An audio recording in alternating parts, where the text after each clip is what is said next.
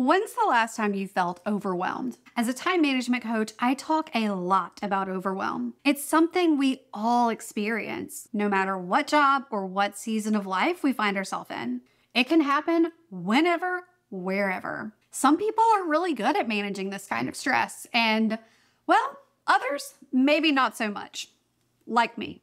Just a few months ago in December of 2022, I was in that exact spot, totally overwhelmed. I had just launched a second business with my husband called Studio Pizza Productions, offering podcast and video editing services to coaches and creative entrepreneurs. Plus, I was serving my own one on one time management coaching clients, leading my group coaching program, and showing up for the members of the It's About Time Academy. All the while, I was still recording podcast episodes for my podcast, It's About Time, and I was filming YouTube videos while working my way through the latest round of edits for my book. Time Management Essentials. Not to mention, it was December, one of the busiest months of the year, with parties and events and travel, buying gifts, wrapping gifts, baking cookies, pictures with Santa, festivities galore. It was a lot. A whole lot happening at once. And even though I was still getting stuff done, I constantly felt like I was behind or that I was dropping a ball or forgetting to do something important.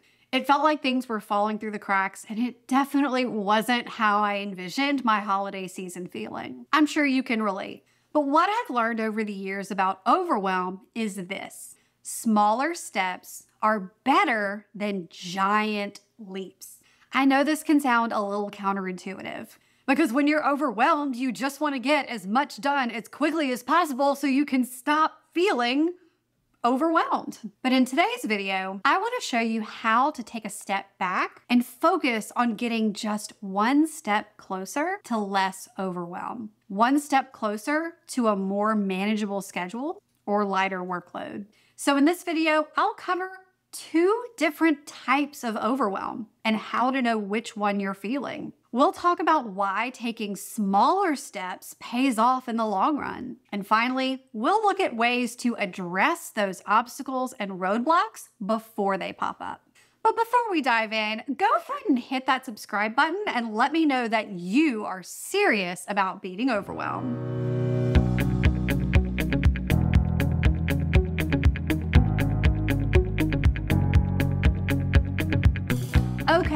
So turns out there are two different types of overwhelm task based overwhelm and progress based overwhelm. Maybe you're overwhelmed with your to do list, or maybe you're feeling overwhelmed from everything that's not being done, from the progress that's not being made. The first type of overwhelm task based overwhelm is something that I talk about a lot. And it has to do with the overwhelm that can happen because of your to do list. When we have too much to do in a day and we just can't get it all done, that's task based overwhelm. But the second type of overwhelm, progress based overwhelm, that's what happens when we feel pressured to make progress that counts or to take a giant leap, make extreme changes, or be an overnight success. It mainly comes from the pressure to perform, whether that pressure comes from you or from an outside source, like your boss or your parents or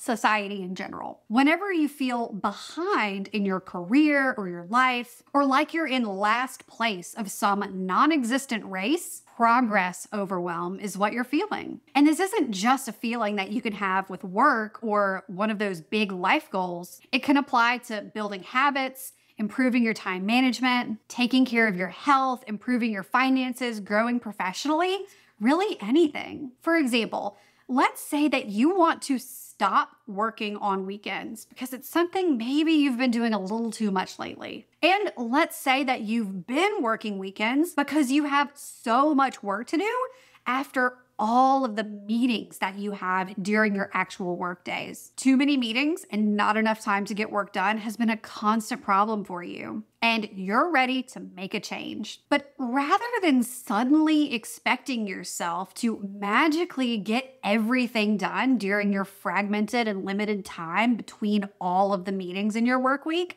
because that's probably not possible, or else you'd already be doing it. Let's think about how you can get just one step closer to your work free weekends. Maybe you change your meeting availability. Instead of having your calendar wide open for meetings all five days of the week, cut it back to just three to get some of that deep work time back. Maybe you could block off two hours in your calendar every single morning to focus on actually getting work done before the meeting avalanche hits you. Or maybe you ask your supervisor or your manager or even members of your team to help you prioritize what really needs to be done so you're not having to work on the weekends on work that just isn't important. But here's the thing you don't have to do all three of these actionable steps at once. You can try each one one at a time. This is a sustainable transition that can take a few weeks, but the point is it's sustainable. Let's try another example. Let's say you get some feedback from your doctor about your health and you have to make some changes. So you leave the doctor's office, drive straight to Whole Foods, spend $200 on fruits and vegetables, start eating salads and taking supplements and exercising twice a day. Is that sustainable? All of that change at once? No, not so much. For one, you don't have the time built into your schedule yet to accommodate all of those new life changes.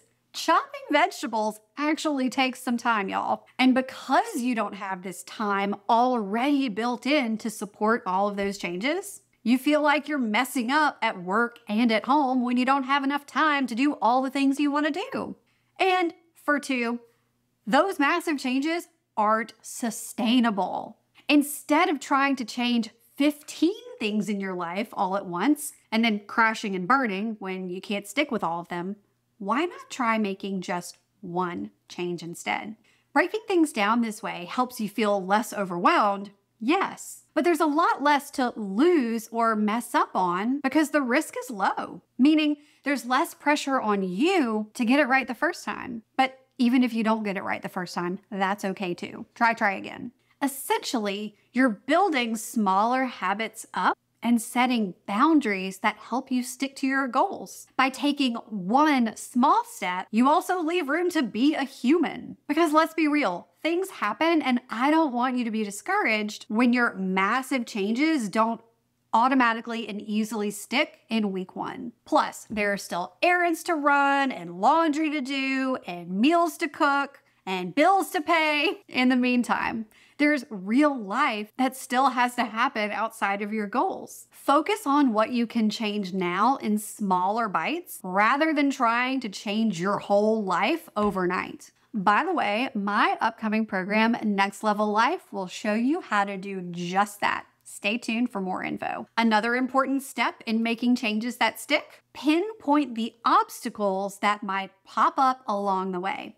Back to that example of trying not to work weekends you might be coming up on a true busy season at work. A busy season that's required you to work weekends in the past. I'm looking at you CPAs during tax season and realtors once the weather gets nice and everybody is ready to buy and sell their home. Knowing and accepting ahead of time that you might have to work a weekend will make you feel less frustrated when it happens because you've set the expectation with yourself and because it's something that's happening outside of your control. Another thing that could get in your way would be a team member that doesn't respect the deep work time that you've carved out for yourself. And you might have to have a conversation with them about your goals and how that deep work time impacts the greater good team. And in the example of the person trying to improve their health, maybe they forgot that they have a two week vacation coming up and they probably won't be able to stick to their strict diet or exercise regimen while they're cruising the Caribbean. The whole idea is to think about what might pop up or interfere with your progress ahead of time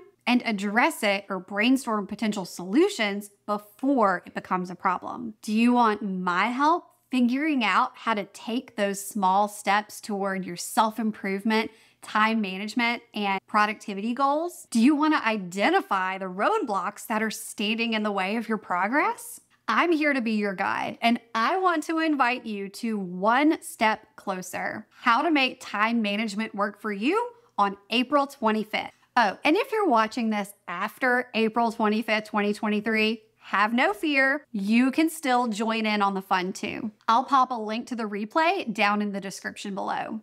One Step Closer is a free live workshop designed to help you find a way to plan your days that works for you, that works the way you do, and to develop time management habits that stick, including feeling less pressure and less overwhelm. I know you've got a lot going on, so I've got four different workshop times for you to choose from on April 25th, so you can find the time that works best for you. And if you can't make it live, I know how life throws us curveballs and things can come up. I'll send a replay straight to your email. I really hope to see you there. I'm also sharing resources and tools that can help you with your goals, and you'll walk away with a day to day plan to keep you accountable.